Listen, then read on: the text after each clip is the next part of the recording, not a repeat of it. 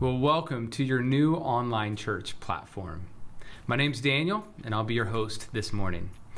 This site will allow us to stream our Sunday morning services, but to do it in a way where we actually have some connection and some interaction during the service. Now, later today, we'll post on our various sites like YouTube, Vimeo, Facebook, where a lot of people are used to viewing our content, and that's all well and good. But this platform will allow us to do some really cool things where we get to interact and we are all a part of this worship experience. So before we go any further, let me give you a tour so you know what to expect. Now it might be hidden behind a bar in the top with three horizontal lines, but click on that and you will see some important information like give. This will link out to our secure giving platform where you can not only give to the general fund that allows us to, to pay the bills and do the things that we need to as a church, but also a special designated fund titled Love Nova. We want to be a blessing to those in Northern Virginia, and this is our way that anything that goes into this fund is going to be distributed to our local residents and our local church family in need. We are so thankful for your partnership, allowing us to be able to serve our community in that way. You'll also see a section titled Connection Card. Just like we normally do on Sunday morning, the, in the seat back in front of you, we have a digital connection card where you can communicate with us and let us know if you're new or if you made a decision or want to be involved in any particular way. You'll also see links to our social media, our Facebook, and our new Instagram. So make sure you follow that so you can stay up to date to all the most current information. Now, chat is a very important feature on this platform. This chat is public, so please be careful what you say. This allows us to be able to hear from you and get feedback. Let us know where you're watching from. Let us know who you're with. We'd love to be able to interact with you that way. We'll also have some hosts there to be able to lead that discussion and that interaction, some staff members and some prayer team members. You'll also see a section titled Notes. Now, that's going to be an important section for sermon notes and any important information that we want to share. There's hyperlinks in there that will link out directly to some of the things that we bring up on a Sunday morning. Now, we'll embed a lot of scripture into the video throughout the morning as we go, but you also have the whole Bible at your fingertips here. Now, the default is King James Version, so it's Old English, it's not the most user friendly in the world. Now, I would recommend changing that from the King James Version to the NIV, the New International Version, or the NLT, New Living Translation. It's going to be a little bit more reader friendly in our common language that we would use today. You'll also see a section that says Request Prayer. Some of our staff and prayer team members are available to be able to uh, connect with you in that way. That will launch into a private chat just between the two of you. Now, this is a live person, so I know it's interesting and you're curious about it. Please don't overwhelm the staff, especially at the beginning, uh, just to see if the feature works. It does work. If you need prayer, request prayer, and we will be there for you. Now, we need to give credit where credit is due, and I want to give a big shout out to Life.Church that is based out of Oklahoma City that made this platform available for free. This is America's biggest church. They have 35 campuses currently, and God has just blessed them in incredible, unique ways. And so we are thankful for them and their partnership to the kingdom to make things like this platform available. Also, the Bible app that you probably have on your phone, they made that, released it for free for the public and has just been a huge blessing to so many people around the world. So thank you, Pastor Craig Groeschel. Thank you, Life Church, uh, for your generosity and making things like this possible. So that should be it. That's our tour of our new online church platform. And we are so excited to be able to bring this tool to you so that we can interact and we can have church together and we can help everyone take their next steps with Jesus. Now, before Pastor Chad comes and brings a message, I'm going to throw it over to Gary, and he and his worship team are going to lead us in a couple songs. Hey guys, thanks so much for tuning in. Boy, it's crazy out there, right? There's so much uncertainty, there's so much fear going around. But uh, we just want to remind you guys that no matter what happens, it doesn't change who God is, it doesn't change what God is worth. He's got everything under control. Now more than ever, we need to be the kind of people that really trust Him. You know, when things happen, uh, we have to make a decision. Do we really believe all this stuff or not? So hopefully, as we sing these songs, uh, you will be encouraged, you'll be inspired to just put your faith in God. We're going to sing a song about God's sovereignty. It's called The Lion and the Lamb. If you know it, please sing along. Let's do it. Two, three, four.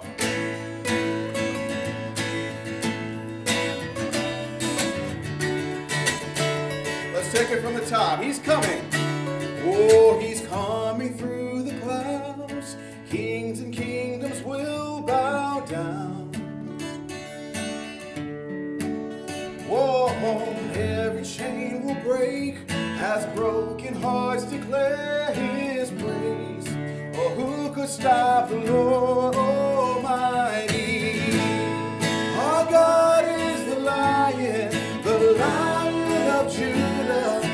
Roaring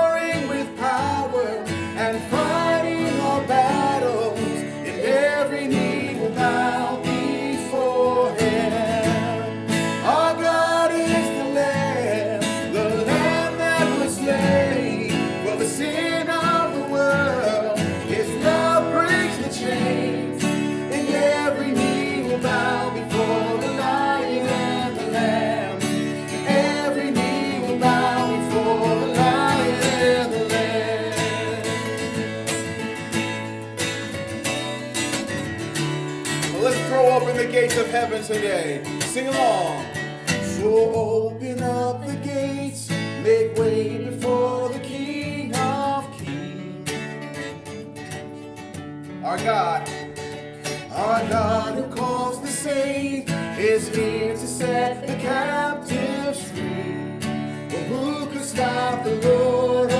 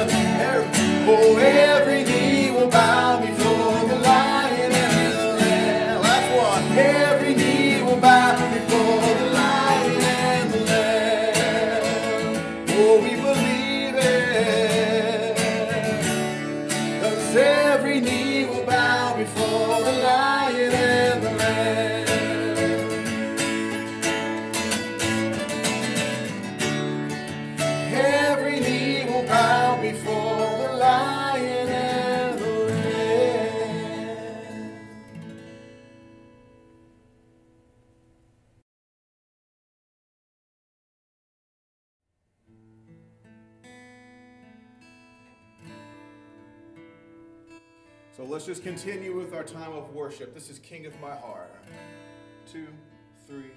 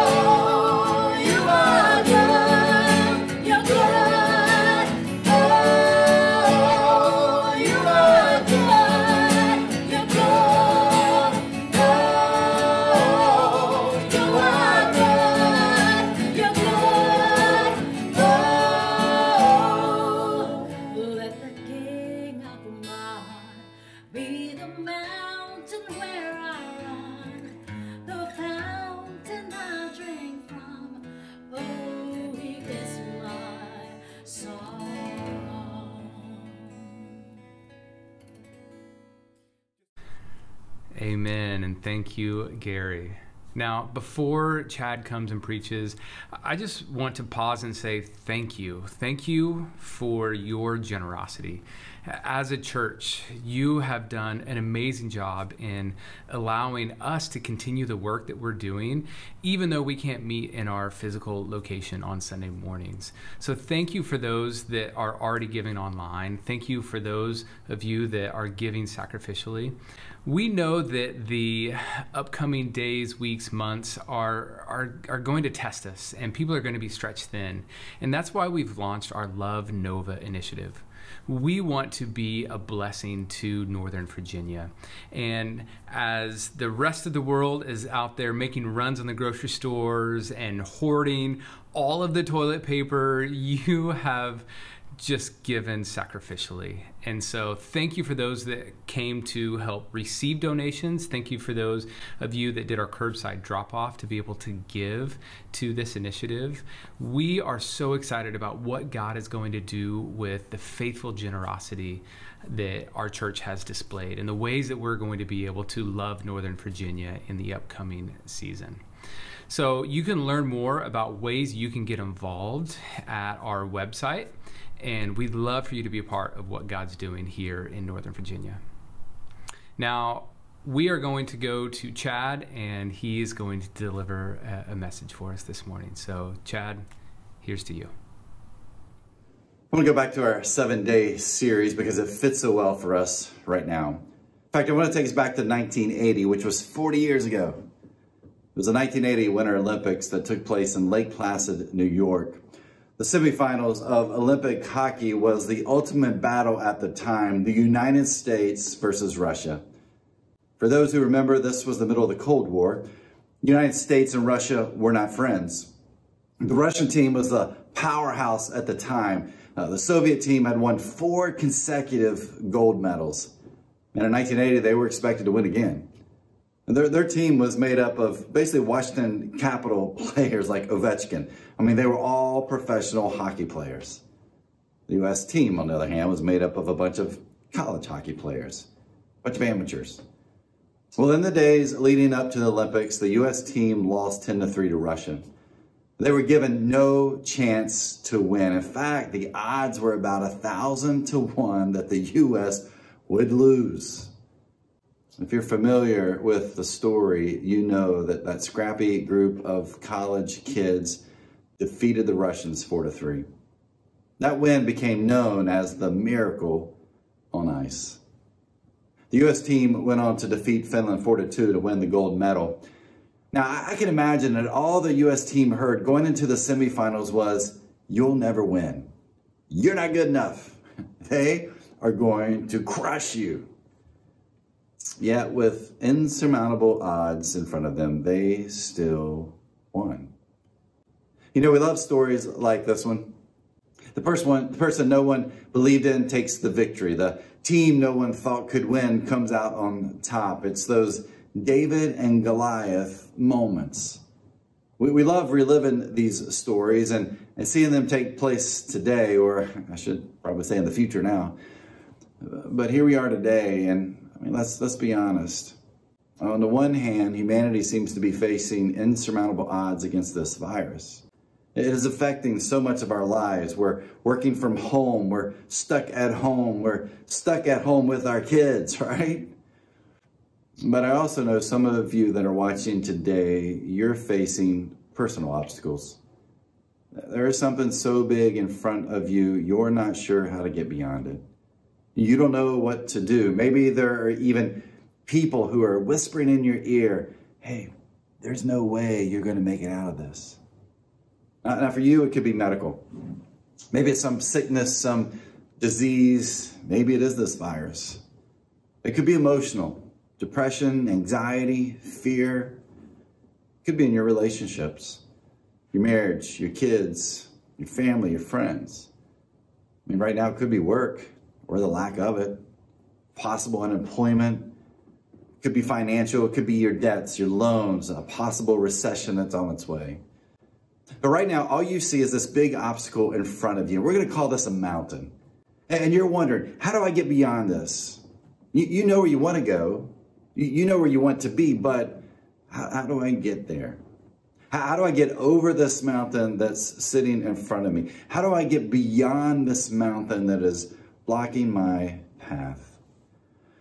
Today, I want to look at an event that takes place in the last seven days of Jesus' life that I find is helpful when it comes to those times in life when the odds seem insurmountable. In Mark chapter 11, verses 12 through 14, we find Jesus is right before he goes into the temple to tear it apart. And we, we talked about that a couple of weeks ago. Jesus at this moment is hangry, right? You know what hangry is. You're so hungry, you're angry. And so Jesus is angry and he sees this fig tree which doesn't have any figs on it. And so he tells the fig tree, die, fig tree, die. Now it isn't actually the time for figs anyway, so that response by Jesus is a bit strange. So whatever, they, they head into Jerusalem and Jesus goes in, he clears the temple and they go back home. But then I want you to look at Mark chapter 11, verses 28 through 21. Here's what we see happens next. Look at verse 20. It says, The next morning, as they passed by the fig tree he had cursed, the disciples noticed it had withered from the roots up. Peter remembered what Jesus had said to the tree on the previous day and exclaimed, Look, Rabbi, The fig tree you cursed has withered and died.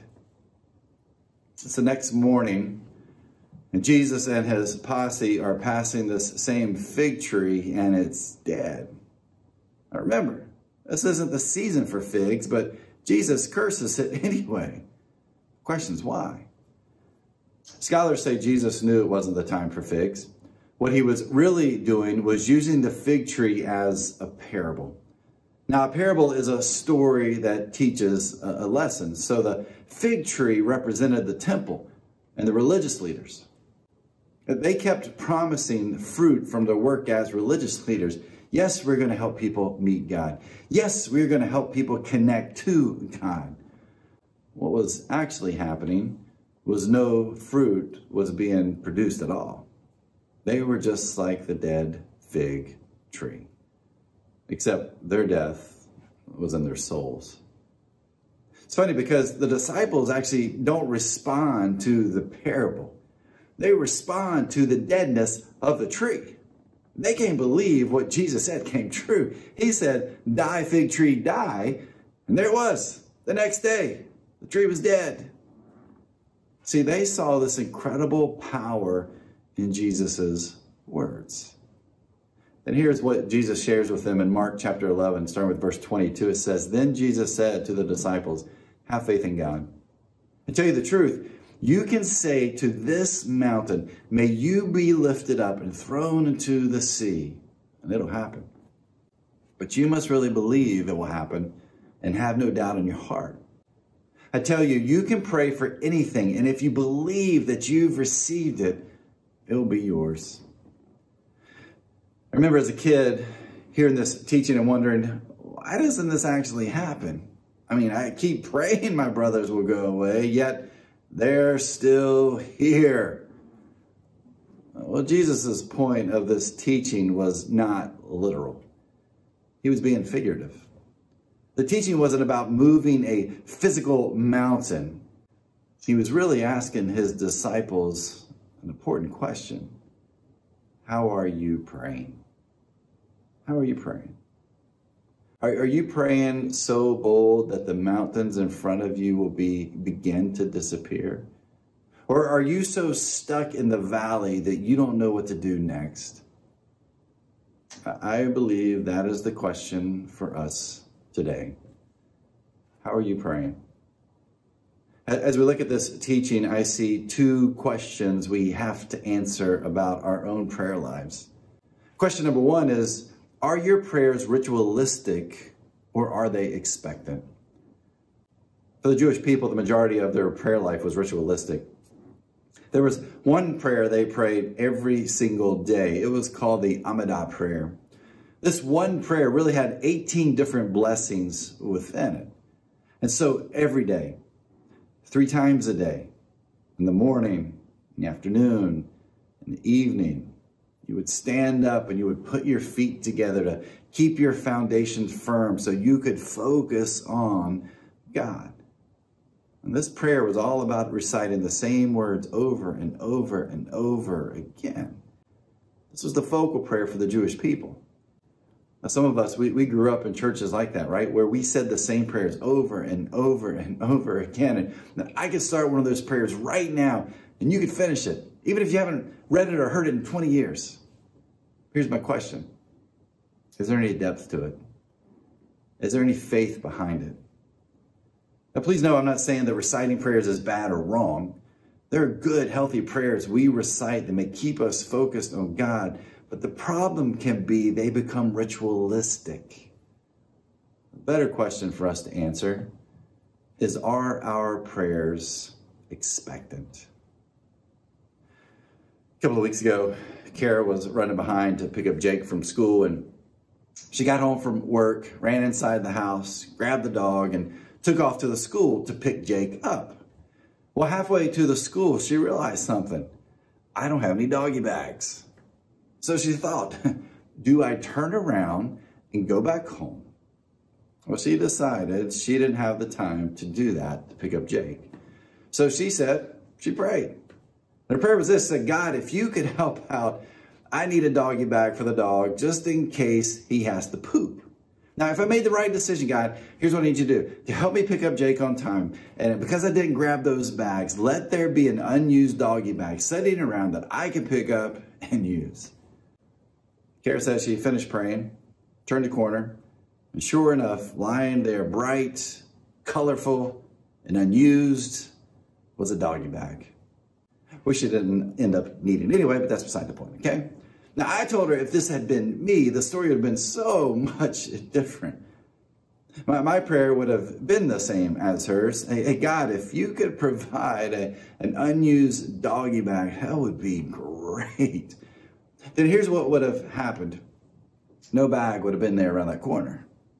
And, and then our dog would have stopped in front of the one house where the owners were outside, watching, waiting, and our dog would have done his business, and I would have had to grab the poop in my hand and probably stuff it into my pants pockets. That would have happened to me. Well, as Kara was telling the story, she said, I don't think God cared about the bag, but I thought, well, why not pray about it? Uh, okay, so I'm not, I'm not saying your expectant prayers should be about doggy bags, all right? But I wonder, do we pray expecting God to answer those prayers? Are your prayers rituals lacking faith or are they expectant, ready for God to answer them? Which now leads us to the second question. Are your prayers fearful or are they bold? As Jesus is teaching, he throws out the imagery of this mountain, right? This mountain we can move. Well, the mountain was actually a common word picture of that day for rabbis. When rabbis were discussing a topic, if one rabbi helped another rabbi understand a teaching that they couldn't fully comprehend before, then they would say, he, you know, that rabbi just moved a mountain. Jesus is asking his disciples, what mountain is in front of you? What difficulties lie ahead of you? What insurmountable odds are coming soon? Are you praying boldly about them. My guess is for many of us right now, our hearts and our prayers are full of fear. We pray scared. Scared prayers are not bad prayers, but we pray them due to that fear. What if we prayed expecting God to work and praying out of boldness instead of fear? I know in uncertain times, fear is normal. We went to the grocery store twice this week. One day it was no eggs, no milk, no meat, no fruits, no vegetables. Another day we went and there were eggs, but there was no milk and no meat and no fruits and no vegetables. And both days, of course, there was no toilet paper at all. Now, maybe the silver lining, though, in all of this is that if you look down the chip aisle, there are lots and lots of chips. Maybe we're eating pretty healthy right now. I don't know.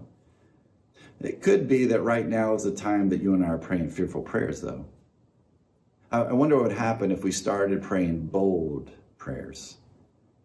Mark Batterson is the pastor of National Community Church in D.C. A few years ago, he wrote a book called The Circle Maker, and it was all about prayer. In this book, he references the Book of Legends, which is a Jewish compilation of different stories and legends. The main story that Batterson focuses on in his book is the legend of Honi. Honi lived during what is called the Silent Years. And the Silent Years fall between the time of the Old Testament writings and the retelling of the life of Jesus in the New Testament. Now, this time frame is between these two times, or between the New Testament Old time, Old Testament, are 400 years. So for 400 years, all there is is silence. Nothing from God. Nothing from the prophets, no miracles. Everyone wondered where God was in all this. There's a drought that had overtaken the land, and Honi shows up. Honi's an eccentric sage who lives on the outskirts of Jerusalem. And one day, Honi walks into town, takes his six foot staff, and he begins to draw this large circle around himself. But when he finishes drawing his circle, Honi drops to his knees, he raises his hands to heaven, and he prays. Lord of the universe, I swear before your great name that I will not move from this circle until you have shown mercy upon your children. The people are standing around watching and wondering why this strange man had drawn the circle and started praying. Then something happened. Raindrops started falling to the, the ground. Now, at first they were just sprinkles. And as the sprinkles fell, the crowd began to cheer. Honi wasn't done. He kept praying. Not for such rain have I prayed, but for rain that will fill cisterns, pits, and caverns. So those sprinkles turned into this just torrential downpour. And witnesses said that the drops were egg-sized. In fact, it was raining so hard that flash flooding occurred. So the people, they all, they all ran for cover. But not Honi.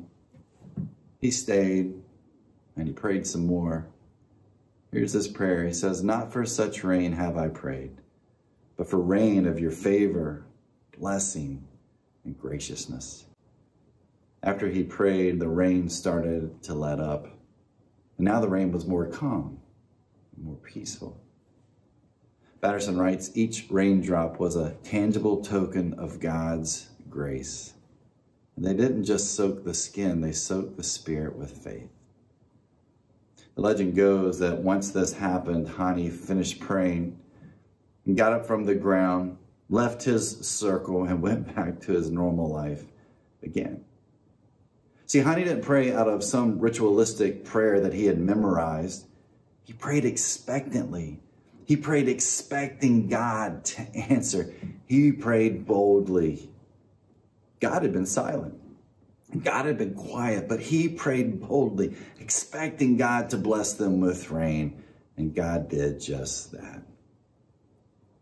Are your prayers expectant? Are your prayers bold? I'm sure right now, all of us have some big mountain in front of us. What is that mountain for you and how big is it? That mountain is probably your fear the fear of financial instability right now, the fear of contracting this, this virus. Maybe your mountain is your marriage or some other relationship. Maybe your mountain is the unknown future. Maybe it is the anxiety you feel so deep down inside. That mountain's in front of you. It's in front of us, and it's big. It's an obstacle. It might seem difficult to get beyond it. It might be blocking our path, but Jesus says, Look beyond this mountain when you pray. Pray expecting God to act. Pray bold prayers that only God can answer. So how are you praying? Since our mountains right now are big, how big are your prayers? I mean, Jesus has challenged his disciples and us to pray some bold prayers, but, but why? Because God is asking us this question, how much do you trust me? What do you think I am truly capable of? Because so often our self-reliance, our egos, and our fear get in the way of our bold prayers. So how big and bold are your prayers? Which leads to one last question. How big is your God?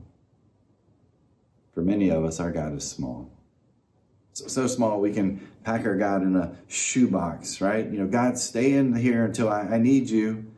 And then when we feel we need that tiny small God, we open that box, we pull God out, and we use God in that moment. Then we finish, we, we grab God and we put God back into the box and we close the lid until next time. We treat God like God is our lucky rabbit's foot, only be to use to ward off bad luck. So how big is your God. Listen to what God tells Isaiah in Isaiah 55 9. He says, As the heavens are higher than the earth, so are my ways higher than your ways, and my thoughts than your thoughts. Let's think about that bigness of God and in this way. Let's, let's look for a moment at science. The sun is 93 million miles from Earth at its furthest distance. If you were to jump in a car and you were to drive at the suggested speed limit of 65 miles per hour, which I know would be tough for some of you, and you were to drive for 24 hours a day, which means you could say to the kids, hey kids, we're not stopping to pee. And then you drove 365 days a year. It would take you 163 years to get to the sun. As most of us know, the sun is part of the Milky Way. The Milky Way is just one galaxy. Right now, we are sure there are about 100 billion galaxies out there. That means, if my math is correct, there are about 13 galaxies per person on Earth right now. In one minute, light travels 11 million miles.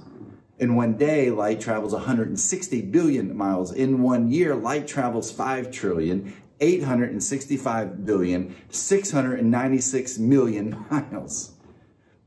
Astrophysicists say the edge of the Milky Way is 25 billion light years away. I like to think this is how, how big our God is. If God create something so huge, so expansive, then I think God can handle our expectant and bold prayers. How big are the mountains in front of you right now? Because I know we all have this one mountain in front of us today. And I think God says, I don't care if your mountains are 25 billion light years big. I got you covered. Jesus tells his disciples and us, our prayers are not to be just something we do. They need to be prayers where we expect God to work. That, that our prayers are not to be prayers of fear, but prayers that are bold because our God is big. But those prayers have to come from a place of trust, trusting God. Last week we read Philippians 4 6 through 7. Here, Paul writes to the church there in Philippi, he writes these words to them. In verse 6, he says, Don't worry about anything. Instead, pray about everything. Tell God what you need and thank Him for all He has done. Then you will experience God's peace, which exceeds anything we can understand. His peace will guard your hearts and minds as you live in Christ Jesus. Sometimes, uh, maybe many times, our prayers are weak. They lack passion. They lack faith. They lack trust. They're full of fear. And those mountains in front of us, they're still there. They're not moving.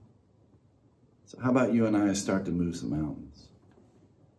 I want to give us two practical steps today as we uh, that we do or can do together moving forward. Now, the first next step is to go back to that YouVersion app that we talked about last week. And I hope you read through the Anxious for Nothing plan. It was really, really good and much needed for me. Well, this time, I want you to go back and I want you to search for the Bold Prayers reading plan. And starting today, let's read that together and see what God has in store for us through that reading over the next week. The second next step is an invite. I invite you to grab your phone and set a daily alarm for 11:24 a.m. This will be our reminder about what Jesus said in Mark 11:24 that when we pray expectantly and bold, God hears our prayers. What if all of us are praying those kind of prayers together? Mindset ready to go. In fact, when mine goes off, U2's Beautiful Day will be pumping at that time for me. When you pick your song, but but as a reminder, you can pray for anything. And if you believe that you're, that you've received it, it will be yours. So jump in as we pray together. Let me leave you with this. Pray expectantly. Pray boldly. And let's see God move those mountains. Let's pray. And God, right now, we pray expectantly. And we pray boldly for you to work in incredible ways. And our prayer right now, God, is first that you would, you protect us and you would take care of us in this uh, these uncertain times. This is a, a, scary time to pray. This can be a, a fearful time for us to pray, God, but we pray expectantly and we pray boldly that you're going to do amazing things because you are God. You have created all of this that we're a part of. And and God, however big this bigness is around us, that's how much you love us. That's how much you care for us. And it doesn't matter how big that mountain is, you have us covered. And so we pray that right now, God. Pray for those relationships. I pray for those marriages that are struggling. I pray for um, those finances that are struggling right now and the uncertainty of the future ahead, God. But here's what I pray I pray that we would believe that you're going to take care of us because you tell us you will. I believe that you will watch over us and you will give us what we need. And, and so, God, we lift that prayer up to you right now that we would have the faith and trust in you to continue to pray those expected and bold prayers, and that you will hear them, you will listen to them, and you will help answer them for us because you are God. And so, right now, God, we pray that you will move those mountains. In Jesus' name, amen. Daniel is now going to lead us in our time of communion. The events of this last week remind me of a time that the disciples were stuck inside behind closed doors. You see, Jesus, their rabbi, the guy they had spent the last three years with, preaching to the masses, healing the sick and the lame, confronting the religious authority, uh, doing these amazing things, instilling hope to the whole countryside. Uh, all of a sudden, Jesus is gone he was arrested. He was turned over to the Roman authorities and he was crucified, a criminal's death. And for good reason, they're scared. I mean, they could be next for all they know.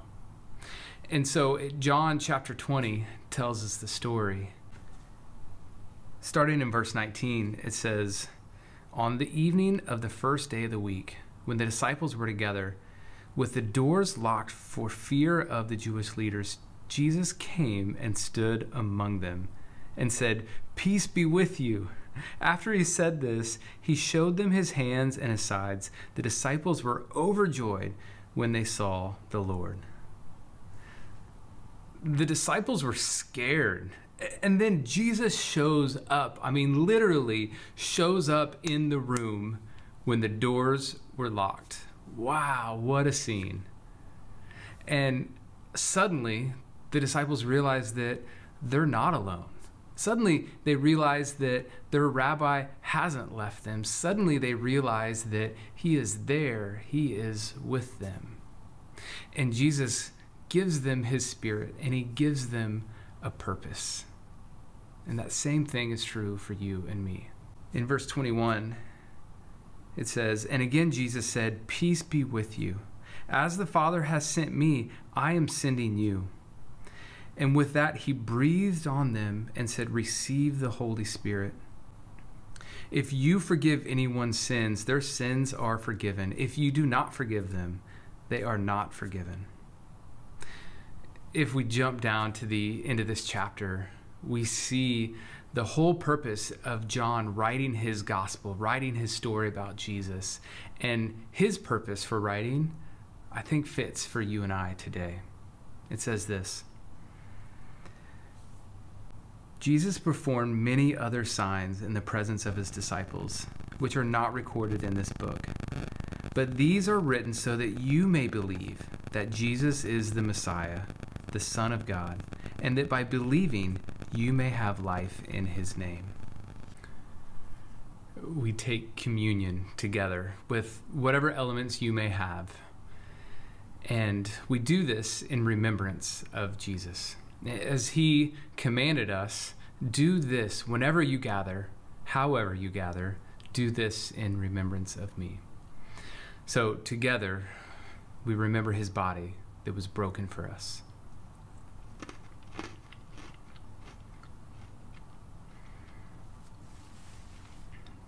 And together we remember his blood that was shed for us, that forgives us of our sins. Let's pray together. God, thank you for being here with us. Thank you for giving us your spirit and allowing us to meet together in this way, in spirit and in truth. God, we praise you for the advancements of technology that allow us to be able to uh, bring this message of hope to the whole world. God, I pray that you would be with us, be with our fear, be with our anxiety that we may carry. God, I pray that we would pray to you. I pray that we would submit those desires of our heart before you. Would you check our motives? Would you allow us to do amazing things for you? Would you allow us to love those around us in powerful and unique ways? God, we need you. We need you more than ever. And I pray that the church can be there for our community. I pray that you would give us vision, you would give us inspiration. God, would you give us creativity in how we serve others around you during this time? Father, we pray for protection. We pray for wisdom right now. We know that you are bigger than anything that is going on. And we know that you have a hope, you have a plan, and you have a purpose for our lives. Thank you for this opportunity to gather together as your church. It's in Jesus' name we pray these things. Amen. Thank you so much for being a part of our live stream this morning. The chat will stay open for 10 more minutes at the conclusion of this service. So if you do have prayer requests, please uh, seek that out and hit request prayer so that we can have someone pray with you. Please let us know how this was for you. What was the experience like? We'd love to get your feedback on that. Feel free to put that on the, the public chat there as well. And this week, please stay connected. Our social media, our website is going to have the most updated information. If you're a part of a serving team or you're a part of a, a life group here at the Journey, man, make that be your your sense of connection. Would you reach out to those people on those teams? Would you see how other people are doing? Would you check in? And let's show the world how we care for one another during this time. Don't forget to love Nova. Figure out creative ways to care for your community, care for your neighbors. Check out our website, and so you can join us in what we're doing, but also share your ideas on what that means and how you are able to thoughtfully care for those around you during this time. In the notes section, you can see the two Bible plans that Chad mentioned, so be sure to check that out. And finally, thanks for being here. Thanks for being a part of this live stream service. And we would love to see you next week at 9 a.m. or 11 a.m. Take care. See ya.